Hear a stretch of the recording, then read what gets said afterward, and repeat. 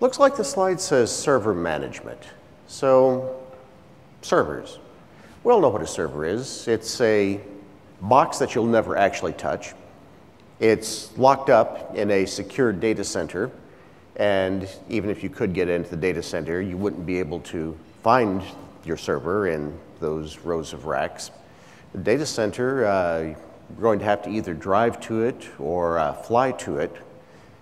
And then real servers don't have graphics. So they're headless machines just sitting out there running production workloads. Huh. Let me introduce our first protagonist. William is a junior level system administrator. He's got about three years of experience, mostly working in a uh, Microsoft and a VMware background. He's primarily doing the day-to-day -day routine tasks of running the systems. So uh, William is the type of guy we like. like. He's young, he's sharp, he's enthusiastic. He's uh, out there doing everything he can to do a great job. And he's kind of new to Linux. William is running into Linux. He's discovering that it has a learning curve. Now, I know this will be a surprise to all of us, but people hitting Linux for the first time are running into a forest of acronyms, utilities, tools, LV Create, NMCLI, Parted, or is it Part Ed? System CTL, oh, that's intuitively obvious. Yum. What kind of a program sounds delicious? MKFS.XFS, okay, yeah, that's, that's absolutely intuitively obvious. William says, help. Fred, on the other hand, is a experienced Linux systems administrator. He's been in the business for over 20 years. He's been uh, engaging in armed combat with Linux boxes for the last 15 years. Fred knows what he's doing. And Fred works with a big bag of scripts and SSH. So his way of dealing with everything on the systems is to SSH into the box. Okay, that basically turns it into a, something of a local system. And then he has this big bag of scripts that he has developed through the years, some of which he still understands. Uh, his general philosophy is if I'm going to have to do it a second time, script the damn thing. Since he's been around for a while, he knows how you deal with new and unusual situations. You Google it. Okay, powered by SSH, scripts for everything, and Google it when you don't know exactly what you're doing. Now, Fred, okay, he's one person. There are a lot of experienced Linux system administrators out there. Not enough, but uh, there's a fair number. And each one of them has their own bag of tricks. They've developed them through the years. They're all doing similar things. They're all a little bit different. And it's common to have half a dozen or a dozen different scripts doing different aspects of the same thing that are dramatically different. A lot of power, a lot of flexibility, a lot of inconsistency and uh, general cruft. Okay. This was actually the starting point for the LMI project. We went out and uh, talked to a lot of users, and we got some feedback that we, the Linux community, needed to improve the manageability of the Linux systems. They said that it was just too hard for junior people to come up to speed on Linux, and that the experienced Linux systems administrators were spending too much time doing the routine day-to-day stuff that did not really take advantage of their skills. What they wanted was some way to allow people to more quickly come up to speed managing Linux servers for the routine day-to-day -day tasks and free up the Linux experts for the difficult things, the unusual things, the troubleshooting, the delivering the full capabilities of the systems. Okay. So they said that it's servers, remote systems. Yep, we knew that. The main focus turns out to be, as a starting point, configuring storage, both local and remote storage, configuring networks, and bringing up the system so that it can use domain-based authentication, either Microsoft Active Directory authentication or um, IPA-based um, authentication. Hmm. starting to get a little bit interesting. It's dealing with a lot of low-level details. Reduce the learning curve for common tasks. Okay. And then there's some things that uh, we were looking at and digging into it, we noticed that it's necessary to be able to uh, help people to do their jobs better. But if you look at where things are going, particularly at scale, we really have to be able to automate everything. So anything new that we're doing in the system management space needs to be able to support both people and automation. Needs to be able to support the development, deployment, and use of rich, robust tools that can function at scale. Okay, so far so good. And we're out here in the open source community, so looking at this, one of the things that we established as a goal was that we should come up with something that was, where possible, built on uh, industry standards and was a open system, something that could be used, extended, and modified by anyone. In addition to the core parts of the system management tools that are delivered as part of the, um, the LMI project, this needed to be extended by other people, by third parties, and even by customers. So, okay, this, this looks like a uh, fairly simple set of requirements. I mean, you know, a couple of interns knock this out in six months. What's the big deal here? So that's what we're trying to do. Let me, let me jump ahead a little bit and talk about uh, storage. Anyone here have to uh, configure storage on a server? Or is it's simple, straightforward, logical, uh, easy to do, remote systems are no problem? None of the above. Oh, good answer, sir, good answer. All right, so where do you start with storage? The first thing that you need to do is you need to be able to uh, find out uh, what devices are on the system. Okay, so list the devices, big deal, yeah, right. Uh, SDA, SDA 0, that tells you everything you need to know. And you can use this when you're working with the system. I mean, you can build this into scripts.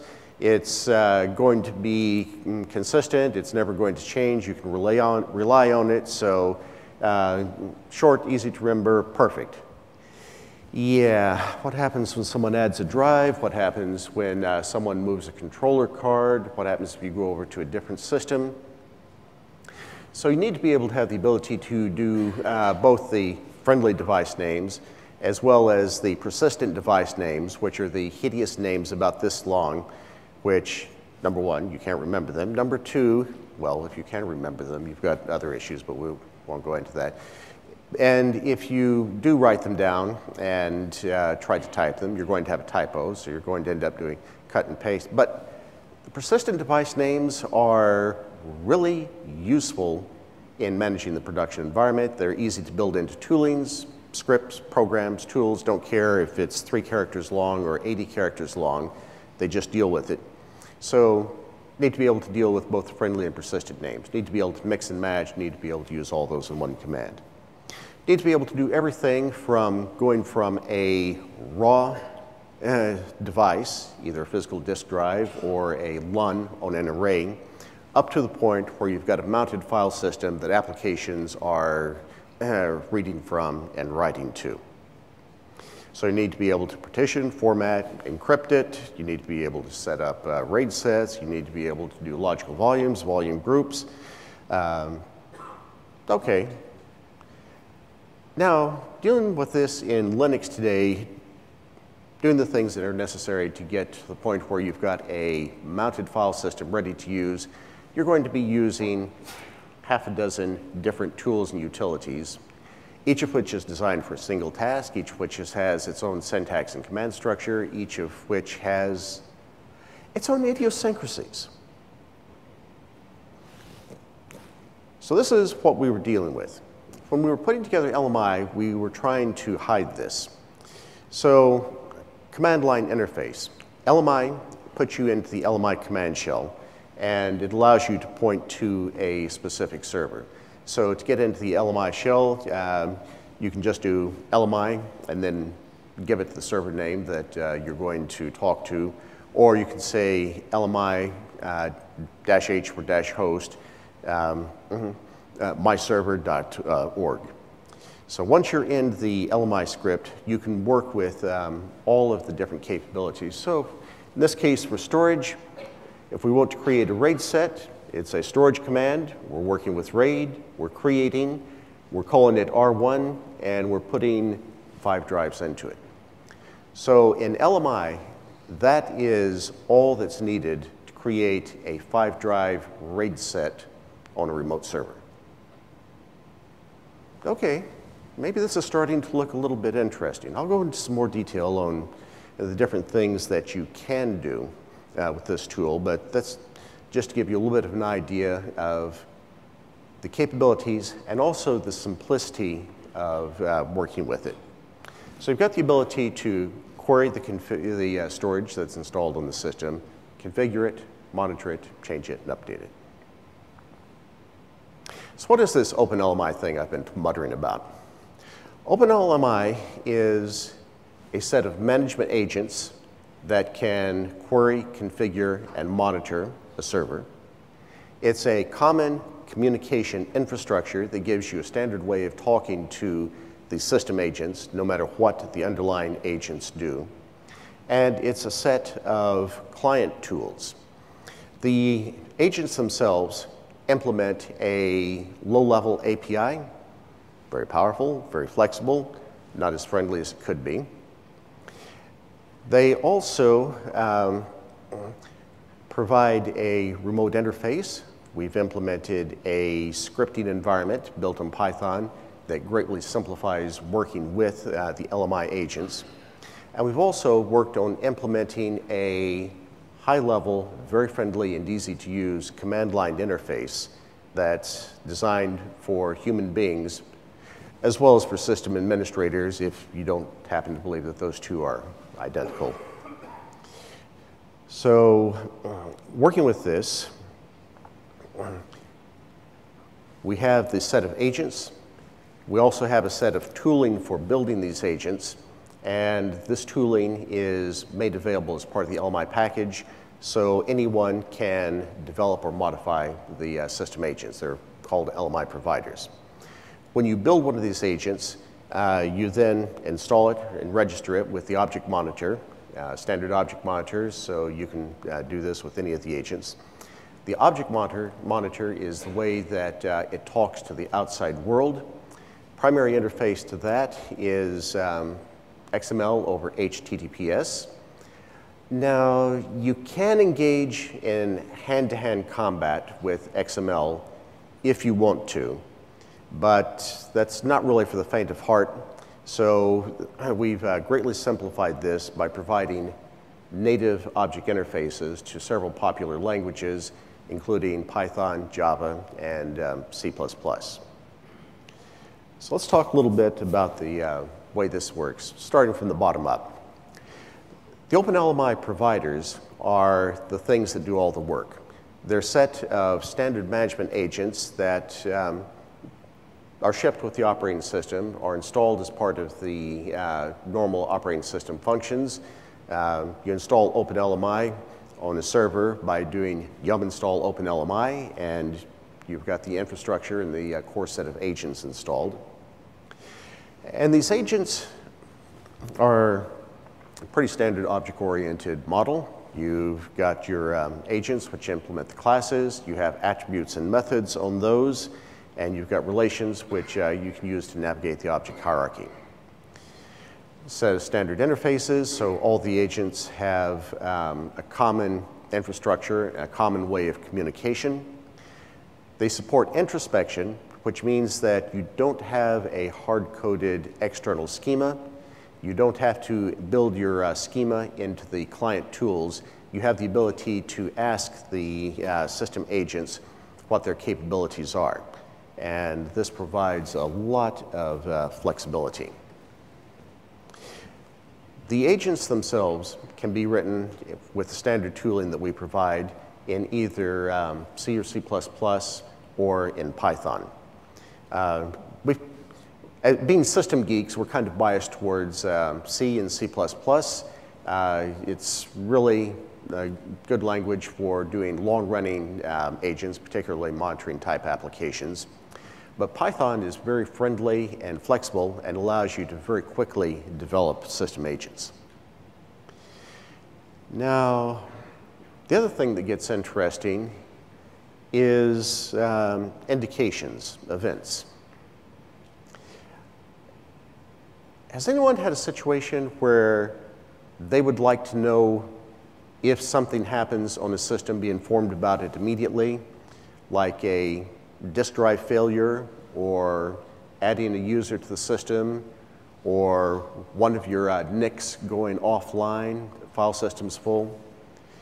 So there's several ways to do this. I mean, you can write a client-side application that keeps, keeps going out, pinging your servers, and uh, asking you, asking the servers, are the disk drives okay? Are the disk drives okay? But that's kind of a silly way to do it. You can have a monitoring console which uh, continuously updates it, so you've got a nice interactive graph, uh, file system utilization, so you can go, okay, file system utilization is hitting 86%. I've got an 85% threshold, so I should probably look at adding some more space to that file system. Or you can have the system tell you. So this is built into the LMI uh, infrastructure. So hey, inside the providers, you've got the usual capabilities. So you've got the attributes, you can read and write the attributes, you've got the methods that you can run. You've also got the indications, which are the events. An indication is registered with the uh, CIMOM, the object monitor, which says, I have the ability to let you know anytime this event happens. On the other side, on your client side, your client can say, I'm interested in this event please let me know whenever it occurs. The client then registers with the CIMOM saying that it's interested in these events. And whenever that event occurs, the, uh, the provider, the system agent, reports it up to CIMOM. The CIMOM looks to see who has registered to receive information on this event, and then that event is propagated back to the client side. So very powerful uh, capability for monitoring and managing systems. Then on the client side, I mentioned that we've got uh, the XML uh, interface, and you know, XML, it's verbose, but it's very flexible. You can uh, carry a lot of information in it. Yeah, XML.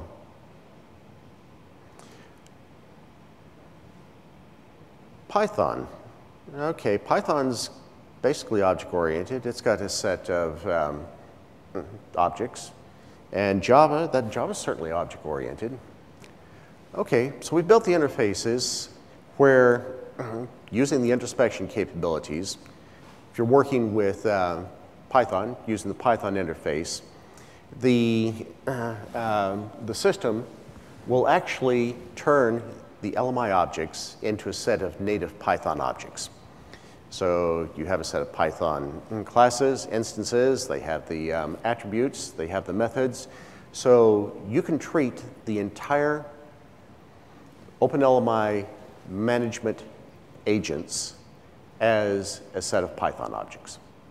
So you just write Python scripts and you have access to the full power of the system. Okay, that's actually a pretty big deal.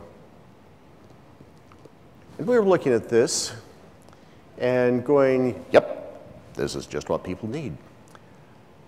And I tried to ask the engineers some embarrassing questions. So I was asking some questions around, okay, now how do people actually use this? there's a complete set of documentation available for LMI, so all of the uh, agents, all of the, uh, the objects, all the attributes, um, the methods are documented. You can look everything up, find out what the syntax, the commands are, what it does, and all of that. Have any of you developed tools to solve problems by finding something close and hacking it up? Or Googling for some command fragments and finding something that looks like what you need and uh, doing a copy paste of that? Have you ever felt guilty for this? Right. In general, don't write something from first principles unless you have a good reason for doing so. We believe that we've got a little bit of a disconnect here. We've got a low-level system API, which is really good for the system programmers.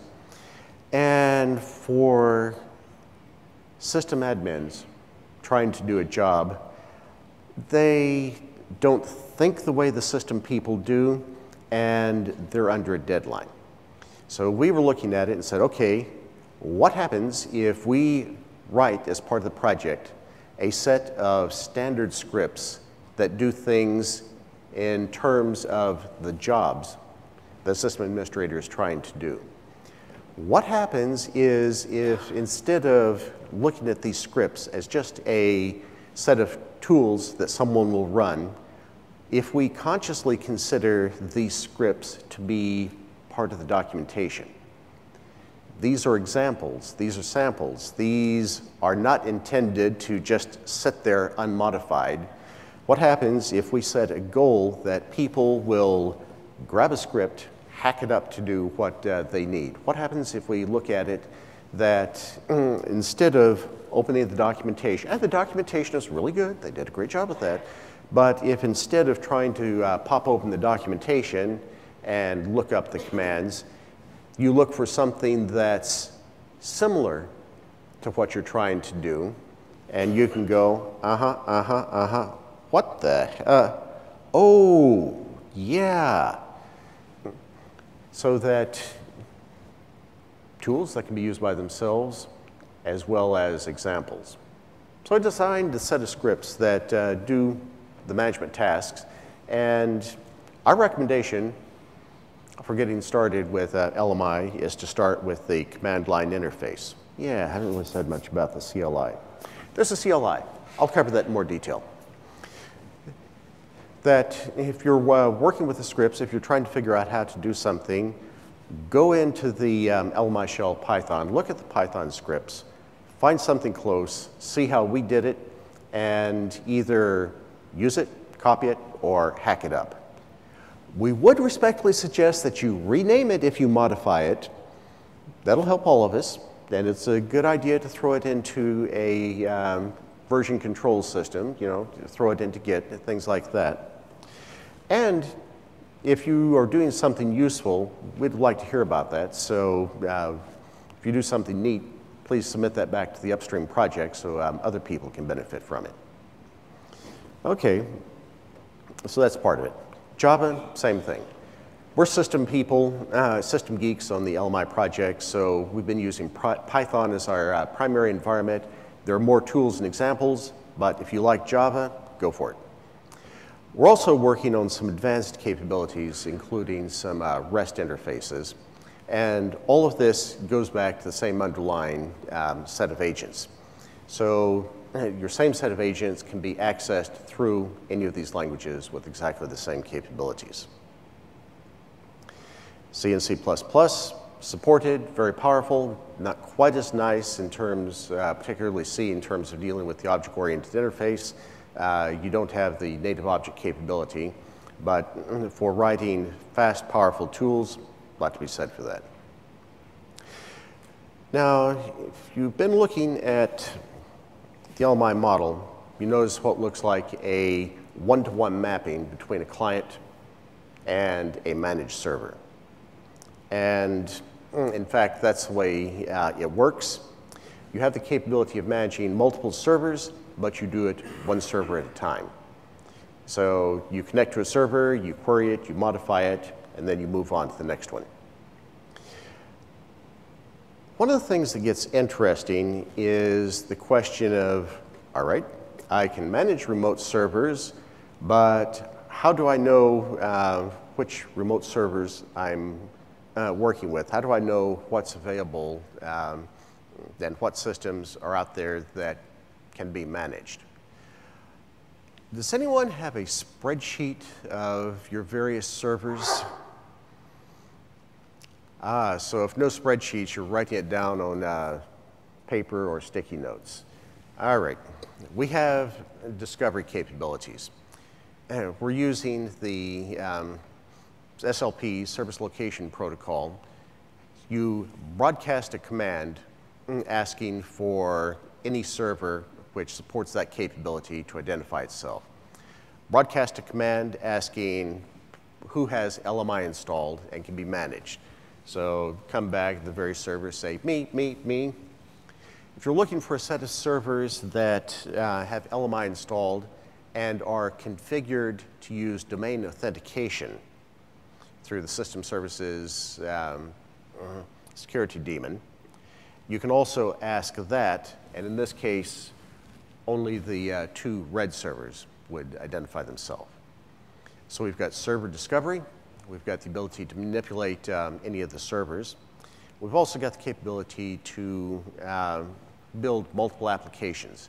Since the LMI is a API for management, you can have multiple applications talking to a single server. Uh, you can even do it at the same time. You should probably try to avoid having uh, two applications updating the same underlying piece of infrastructure. Okay. So how is this implemented? We're using the DMTF uh, CIM technology stack. So we're using a set of um, off-the-shelf components. We're using a standard OpenPegasus um, CIMOM. We're using a standard uh, tooling for building the applications. We're using the object file definition language, and uh, we're using a uh, common interface called CMPI, which allows you to build a set of interoperable agents. We're using the DMTF models as a reference point. We believe that there is a tremendous amount of institutional knowledge built into these models, but that the models themselves, I'll be diplomatic, are not optimal for implementation. So we've taken the uh, DMTF models as a starting point, used the pieces of them that we can, and extended them where necessary to deliver Unix capabilities. So yes, it's built on uh, CIM, but it's actually usable. We built a set of standard providers that are included in the system to address storage, network, services, users, software, and a set of other things. These are the starting point. The significance of these agents is that they are standard system agents being shipped as part of the operating system. So they uh, come with the operating system. Today they're included in uh, Fedora and uh, RHEL, RHEL 7. We um, have been working with SUSE. SUSE is uh, shipping a subset of these, and LMI is an open upstream project. We would like to have um, all Linux distributions using it and hopefully contributing to it. So if this looks like some uh, useful capabilities that are not on the operating system that you're uh, currently using, ask uh, that project to uh, get involved with it. We'd be uh, delighted to work with them. Since they are part of the operating system, it means that it's available and it can be installed and used on um, any of the servers, that it is updated and maintained as part of the operating system. So traditionally, the biggest problem with uh, management agents is getting them on the boxes and keeping them current. If the agents are shipped as part of the operating system, both of those issues are resolved and you've got um, better guarantees for compatibility. Okay. I've been muttering about a lot of things up here, and hopefully it sounds interesting. And is anyone wondering if the stuff I'm talking about is actually real and works? Thank you. You have experience and honesty. So let's run through some examples of it. Building a RAID set. I gave an example a few minutes ago where you've got one line, simple, easy to understand, builds a RAID set. That's all you need, and you're off and running. Yeah. All right. A RAID set, to be useful, uh, you build the RAID set. That gives you a storage pool to work with. If you're in a server environment, you're going to be using volume management. So you need to create a volume group or add the, um, the new resource to an existing volume group. You need to put that volume group into a logical volume. You need to create a file system on that logical volume, and then you need to mount it. So with Linux, this is simple, straightforward. I mean, anyone can do this, right? You've got different commands for creating the RAID set, for uh, creating the uh, volume groups, and um, you've got to partition it, and then you've got to mount it. Using LMI, you have a set of high-level commands, and it breaks down to greater detail. Anything involving storage is going to be part of the storage command. So LMI, point at the server, you're authenticated, you're in the server. Storage, uh, you're going to be working with storage. There are a set of uh, capabilities. You can do um, a set of operations with RAID, with volume group, logical volumes, file systems. This is so simple that even I can do it. And uh, the primary tool for learning how to um, use LMI at the CLI level is the help command and a little bit of practice. So this is, this is really beginning to highlight what we're trying to do to simplify management of Linux systems. Now, there are a couple of ways that we could have done this. One would have been to say, okay, there's a set of storage capabilities we need. Let's write everything as part of the um, LMI providers, and we can get exactly what we need and some really good capabilities, and it'll be a fun science project. Okay, we didn't do that. Instead, we're uh, building LMI on top of the underlying native tools. So we're still using Parted. We're still using um, FDisk. We're using lvcreate under the hood. But what we're doing is making those accessible and easy to use for people who don't remember all of the um, arcane commands and for tools and scripts. So let's see what this looks like in some other things. Uh, networks. Quick questions. How many NICs does a server have? as many as you can put in it. We have some experienced people in the audience here. A server is not going to have a single NIC. A server is probably going to have four or five, up to a dozen or more NICs in it. They're going to be divided between the management plane, storage plane, data plane, and perhaps something for external communication. So you've got to find out uh, what's in the system. You need to uh, find out uh, what they're doing, how they're configured, and you need to work with them. Okay. As you can probably guess, all of the networking functions are behind net. So start off with net. We won't find out what uh, NICs are in the system. Those will be devices. We won't list them. This gives us the uh, list of the NICs.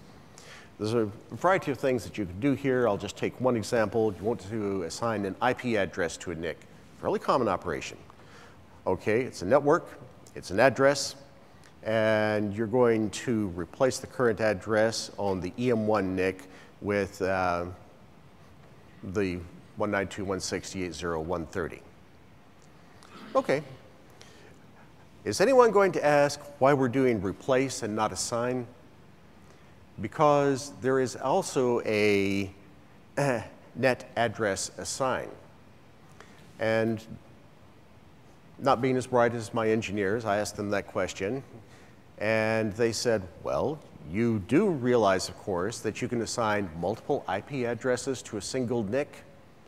And if uh, you're doing this, you may want to make sure that this new IP address is the only one assigned to that NIC. Yeah, right. Okay, I knew that. Uh, and then activate it. Installing an application.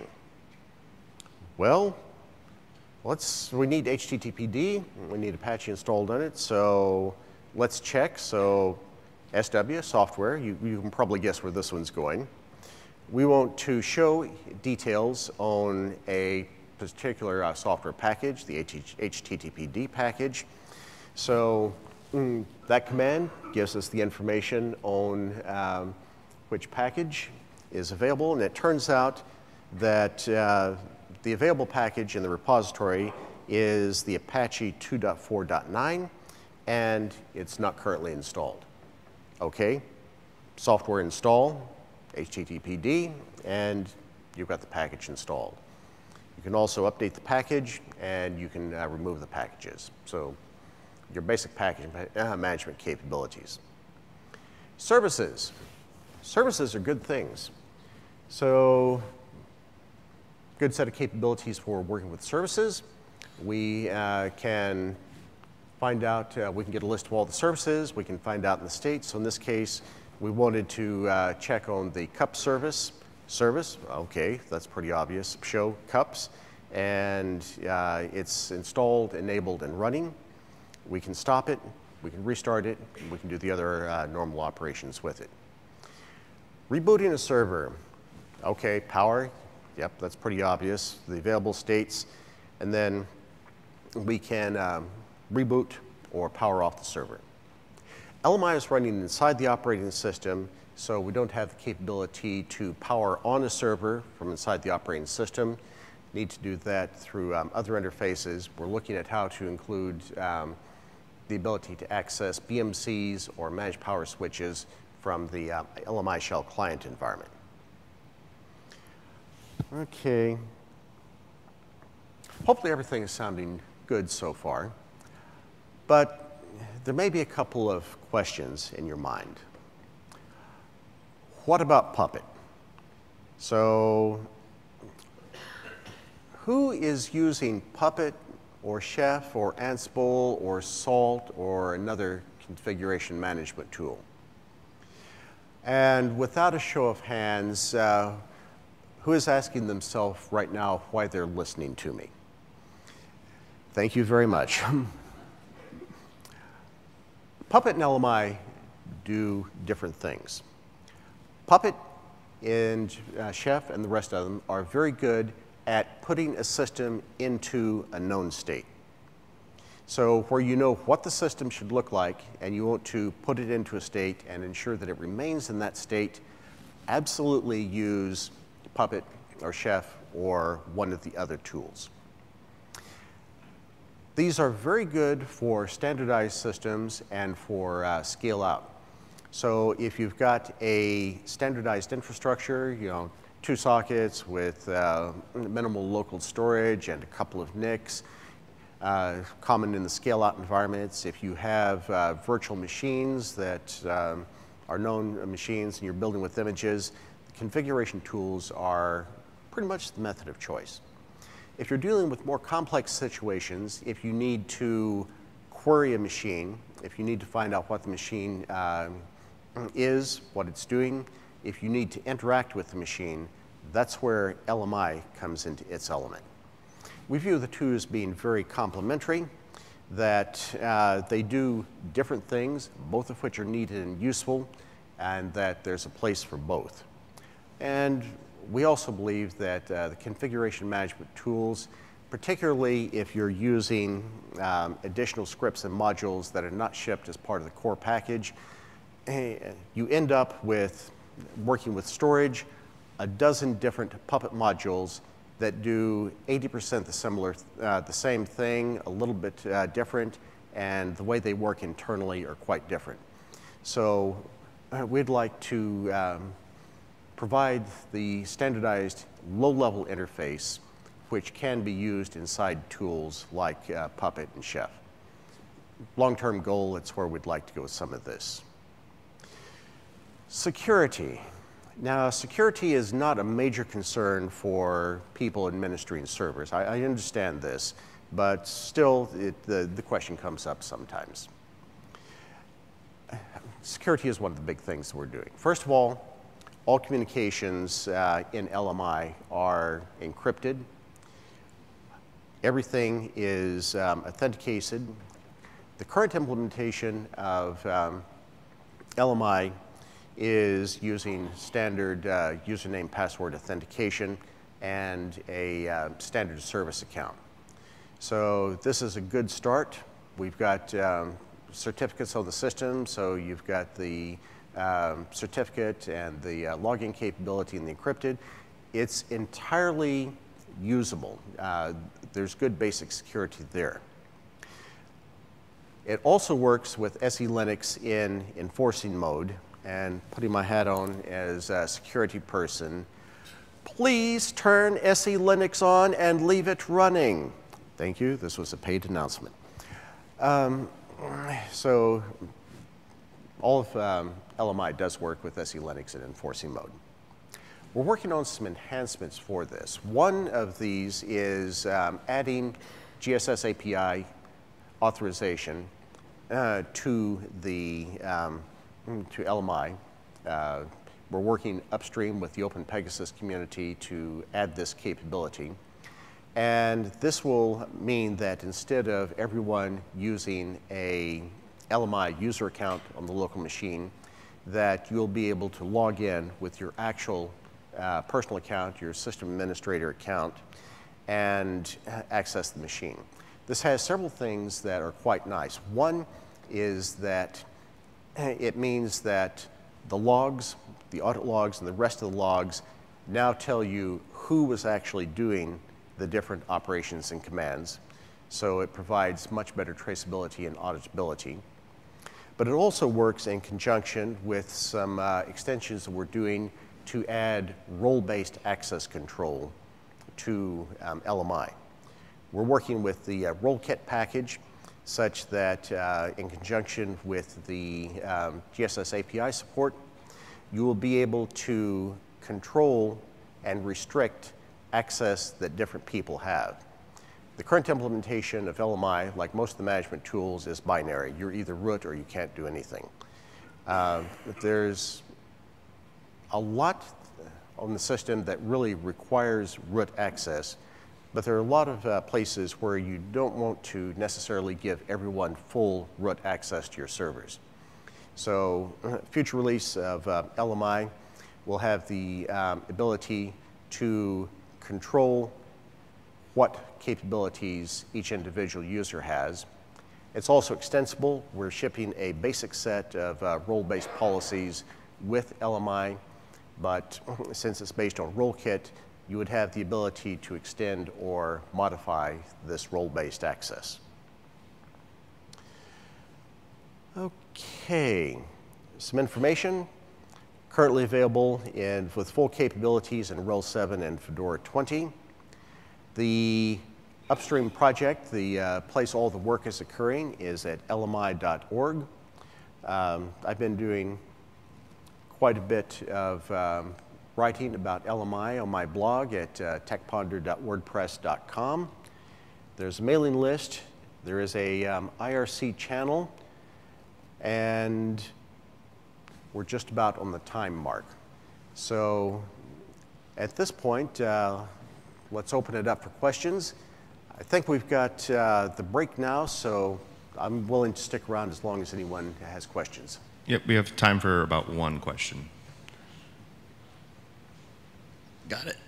Uh, so you stated at the beginning of the, uh, your talk that one of your goals is to simplify some of the complex uh, in operations for entry-level staff. Yes. And I'm, is there any concern that we're like codifying a segregation of skills? Because if the entry-level people only use the abstracted interface and what they learn is to use LMI, are we then creating LMI admins and not Unix or Linux admins? Whoa. That is a very interesting question.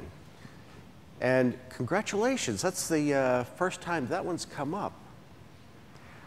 You know, that could happen. Um, I think that, that could very well happen. If you've got someone who is just looking at getting a task done, they find one way of doing that task, and then they do that forever, uh, that could happen. Uh, my experience with most system administrators is that uh, they want to, they're curious. They want to learn more. And we've designed this so that you can come in through the CLI, that takes you so far. When you need to go beyond that, uh, you start getting down into the scripts, the Python scripts, and that's where you read the RTFS, read the fine scripts, uh, and start modifying those. And then if that doesn't take you far enough, go down and start writing your own code against the uh, low-level API. So we've tried to make it accessible, provide the ability to work down to uh, the very lowest level of detail in a uh, sane fashion. But, but I, I think you're right. If someone wants to just do something, move on, and not learn anymore, this would enable that. Interesting. Let's give a round of applause for our speaker. Thank you.